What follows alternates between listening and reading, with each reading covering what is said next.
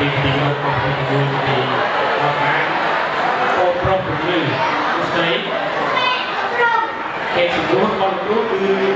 ពេលដែលអូនចង់បានរបស់មួយដែលអូនស្រឡាញ់ហើយអូនសុខចិត្តទៅសម្រាប់ក្រោយអូនធ្វើអត់ទេតែហេតុនេះបានច្រើនខឹង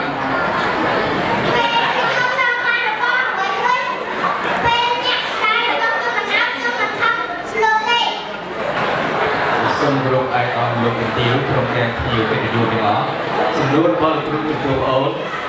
តើអូន